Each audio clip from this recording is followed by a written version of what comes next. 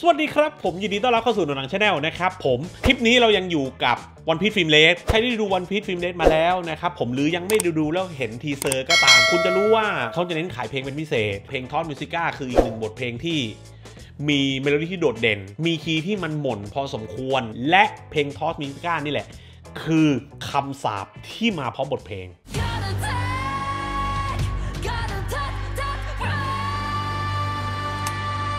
Tot Musica จริง ๆ แล้วเนี่ยภายในเรื่องคือชื่อของจอมมารโบราณที่ยังเป็น last boss ในวันพี e ฟิล์มเลดอีกด้วย ในคำว่า Tot Musica เนี่ยเกิดจากการผสมผสานกันของคำสองคำจาก 2 ภาษานะครับคำแรกก็คือ Tot ซึ่งในภาษาเยอรมันเนี่ยออกเสียงประมาณว่า Tod. แปลว่าความตาย และ Musica ในภาษาอิตาลีออกเสียงประมาณว่า Musica. จะแปลว่า ดนตรี รวมๆกันแล้วนะครับความหมายก็จะได้ประมาณว่า ดนตรีแห่งความตาย หรือในภาษาญี่ปุ่นจะออกเสียงประมาณว่า Totto. ซึ่งมันก็จะไปพ้องเสียงกับคำว่าตุตโตในภาษาอิตาลีออกเสียงประมาณว่า Tutto. ที่แปลว่าทั้งหมดทั้งมวล และ ตัว TOT ยังเป็นตัวอักษร 3 ตัวแรกของคำว่า total ในภาษาอังกฤษอีกด้วย ซึ่งมันก็จะสื่อความหมายได้ประมาณว่าดนตรีทั้งมวลนะครับ ถ้าเราลองเชื่อมโยงความหมายคร่าวๆของคำว่า t o s musica เนี่ย มันก็อาจจะหมายถึงบทเพลงแห่งความตาย หรือบทเพลงแห่งบทเพลงทั้งมวลก็ได้นะครับ นัยยะที่น่าสนใจอีกอย่างหนึ่งของ Tot Musica ก็คือ เนื้อเพลงทั้งหมดแทบจะเป็นเหมือนคำสาปเลยนะครับ และเนื้อเพลงเนี่ยยังมีการใช้ภาษาโบราณอย่างอักษรรูนประกอบเข้าไปในเนื้อเพลงอีกด้วย ซึ่งเราจะพบเห็นกันได้บ่อยๆนะครับที่อักษรรูนจะถูกใช้เวลามีการประกอบพิธีต่างๆ เกี่ยวกับเวทมนต์คาถา อย่างในคัมภีร์ Darkholdของแวนด้าก็ถูกเขียนด้วยอักษรรูนเช่นเดียวกัน และในเรื่อง One Piece Film Red เอง ก็มีการเท้าความว่า Tot Musica คือจอมมารที่อยู่มาตั้งแต่อดีต และอีกหนึ่งจุดที่น่าสนใจก็คือในช่วงศตวรรษที่ 19 นะครับ มันจะมีเพลงโอเปร่าอยู่เพลงหนึ่งนะครับของศิลปินที่มีชื่อว่า f l u n c h Schubert เพลง e l c o n i c ถ้าคุณเอาคำคำนี้นะครับไป search ใน Google แบบตรงๆนะ จะได้ความหมายว่า Elf King แต่ในญี่ปุ่นเพลงนี้จะถูกเรียกในชื่อว่า Mao ที่แปลว่าจอมมาร และคำสุดท้ายของเพลง e l c o n i c ก็คือคำว่า tot นั่นเอง In seinen Armen das Kind war tot.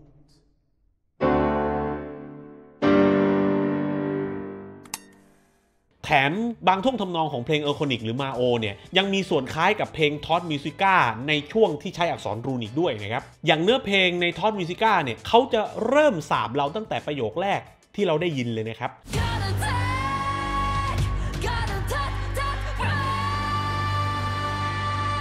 ความหมายของประโยคนี้ผมเองก็ยังไม่แน่ใจร้อยเปอร์เซ็นต์นะ แต่น่าจะเป็นเหมือนบทสวดอัญเชิญ เพราะจริงๆแล้วอักษรรูนแต่ละตัวเนี่ยจะมีความหมายของตัวเอง ซึ่ง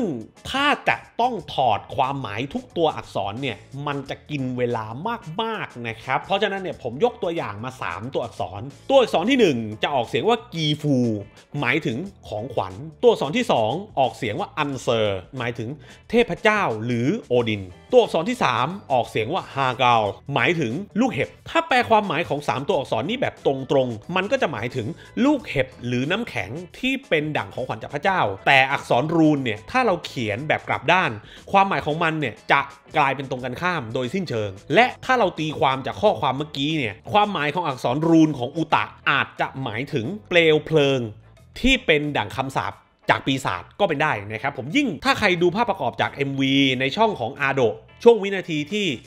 0.38 วินาที คุณจะเห็นได้ว่าอุตะเนี่ยกำลังนอนกลับหัว อยู่กลางวงล้อมอักขระรูน ดังนั้นเนี่ยเพลงก็น่าจะตั้งใจเอาท่อนนี้มาเป็นท่อนเปิด เสมือนจะเปรียบเปยว่าณตอนนี้เนี่ย อุตะกำลังอัญเชิญมารออกมาแล้ว ในส่วนความหมายของเนื้อเพลงเนี่ย ถ้าลองฟังกันดูดีๆ เราจะรู้สึกได้ว่าอุตะเนี่ยกำลังสาบแช่งอยู่ด้วยความเศร้าและความเจ็บปวด ใจความบางส่วนของเนื้อเพลงนะครับ บอกเอาไว้ประมาณว่า หัวใจของข้า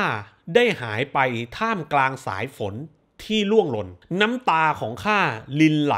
และจะไม่มีวันแห้งเหือด คงถึงเวลาที่จะต้องปลดปล่อยคำสาปนี้เสียทีบทเพลงแห่งการหลุดพ้น ที่จะพลิกมรณา บทเพลงที่แม้แต่พระผู้เป็นเจ้าก็ต้องแสวงหา บทเพลงที่เป็นดั่งปฏิปักษ์แห่งคำสวดมนต์ภาวนา ปรารถนาเพียงแค่คลื่นที่ซัดซาสงบลง จงลบเลือนให้หมดสิ้นทุกความเศร้า จงปัดเป่าทมินการให้สาบสูญถึงเวลาปลดปล่อยแสงสมบูรณ์ ให้โลกสาบสูญบาบาบาฮุก จงลืมซึ่งทุกความแค้นและขับขาน แม้สาบแช่งก็จงร้องให้กังวาน จงเผาผลาญเหล่าคนพาลผ่านเมตตา จงรวบรวมทุกความเศร้า และโกรธา และบูชา เพลงอเวจีเอาแค่นี้ก่อนนะครับ เอาแค่นี้ก่อนนะ เฉพาะแปลมาเท่านี้เนี่ย ทีมงานผมก็แม่งแทบจะลากเลือดแล้วที่เหลือ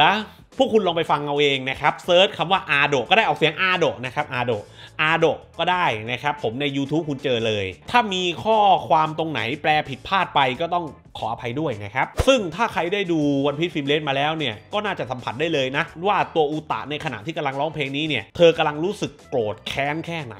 ในยะลึกๆของวันพีซเนี่ยผมว่าเขาน่าจะต้องการแฝงในยะของความแตกต่าง และการไม่ยอมรับกันในสังคมปัจจุบันนะครับ ซึ่งเราจะดูได้จากทรงผมของอุตะที่ถูกแบ่งเป็น 2 สีนะครับ เป็นสีแดงและสีขาว ซึ่งก็เป็นสีของธงชาติญี่ปุ่น ให้สังเกตดีๆนะครับว่าฝั่งตาข้างซ้ายของอุตะเนี่ยจะถูกปิดอยู่ตลอดเวลา ซึ่งก็จะสอดคล้องกับเนื้อเรื่องที่อุตะโตมาในประเทศเอริเจีย โดยที่เธอแทบจะได้รับข่าวสาร เพียงด้านเดียว อุตะพยายามสร้างภาพที่น่ารักสดใสเพื่อให้คนอื่นได้เห็นว่าเธอเป็นแบบนั้น ทั้งๆทที่จริง ๆ แล้วเนี่ยภายในหัวใจของเธอเนี่ยกลับเต็มไปด้วยความขมขื่นและความเศร้า ในยะของสิ่งนี้อาจจะหมายถึงสังคมญี่ปุ่นก็ได้นะครับที่เราในฐานะนักท่องเที่ยวเนี่ยเวลาเราไปประเทศญี่ปุ่นเนี่ยเราก็จะมองว่าประเทศญี่ปุ่นเป็นประเทศที่สวยงามอบอุ่นน่าท่องเที่ยวอยากไปทุกเดือนอยากไปแล้วไปอีก แต่จริง ๆ แล้วเนี่ยประเทศญี่ปุ่นก็แอบซ่อนมุมตรงข้ามที่ดำมืด เอาไว้เช่นกัน โดยตอนสุดท้ายที่แชงกับลูฟี่ช่วยกันปลดปล่อยอุตะ โดยต้องโจมตีทั้ง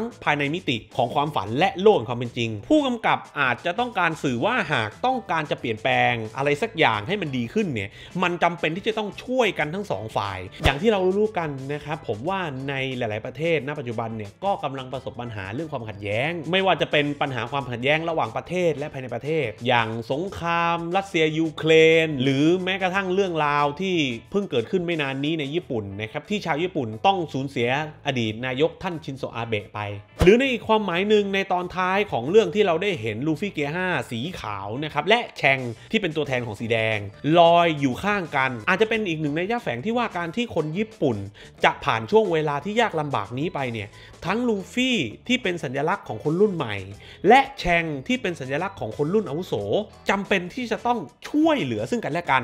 เหมือนกับทรงผมอุตะ ในฝั่งสีขาวที่จะปิดตาเธอไว้ ซึ่งฝั่งสีขาวเนี่ยจะเป็นสีที่เป็นตัวแทนของความบริสุทธิ์ และที่ยาวปิดตาอุตะเอาไว้เนี่ยเป็นการเปรียบเปยเหมือนเด็กๆ ที่ยังมองโลกได้ไม่ชัดเจนมากนัก และการที่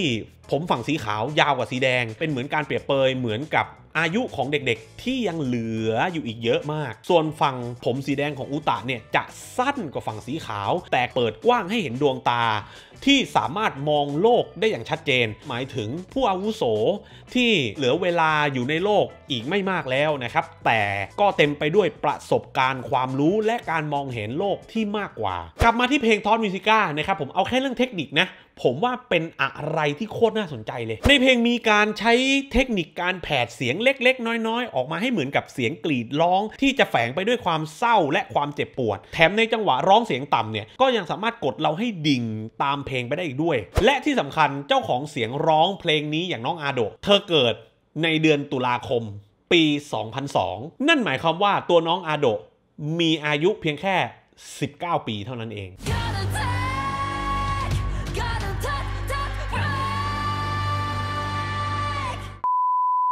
ถ้าคุณคิดว่าพลังเสียงที่คุณได้ยินจากเพลงทอ s มิวสิก้าว่าเป็นเรื่องที่สุดแล้วนะ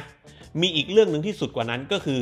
ผู้เรียบเรียงเพลงทอ s มิวสิก้าผู้ที่เรียบเรียงดนตรีเพลงทอ s มิวสิก้าก็คือคุณซาวโนะฮิโรยุกิเขาคือคนที่ทำดนตรีประกอบภาพยนตร์และแอนิเมชันชื่อดังมากมายหลายเรื่อง อย่างเช่นเอ่อ Attack on Titan นะครับ Gundam Unicorn และแอนิเมชันฟอร์มยักษ์ อีกหลาย ๆ เรื่อง พูดง่ายๆก็คือดนตรีที่บิ้วบิ้วในฉากต่อสู้ที่มันฟังดู epic epic epic หน่อยเนี่ยก็คือผลงานพี่แกทั้งนั้นนะครับ พอ 2 องค์ประกอบนี้มันมารวมกันเนี่ยมันก็ไม่แปลกนะที่เพลงตอ s มิวสิก้าเนี่ยจะเป็นอีกหนึ่งบทเพลงที่ส่งอารมณ์ในช่วงหนึ่งของเรื่องให้เราสัมผัสถึงความเจ็บปวดให้เราสัมผัสถึงความแค้น ความเศร้าในใจของอุตะได้แบบ เป็นอย่างดี และถ้าใครที่ยังไม่ได้ดู Film Red หรือมี plan ว่าจะไปซ้ำนะ ผมรับประกันว่าหลังจากที่คุณดูคลิปนี้จบแล้วเนี่ย การได้ยินเพลง Tot Musica ใน One Piece Film Red อีกครั้งของคุณเนี่ย จะอินมากขึ้นแน่นอน ก็ประมาณนี้นะครับผมคือข้อมูลตรงนี้ผมว่าเป็นข้อมูลที่สำคัญพอสมควรนะครับผมก็เลยเอาข้อมูลตรงนี้มาอัปเดตทุกคนชอบไม่ชอบยังไงก็ลองแชร์กันดูนะครับผมยังไงถ้าวันนี้ก็ประมาณนี้ครับผมขอให้ดูหนังอย่างมีความสุขนะครับ ผมสวัสดีครับ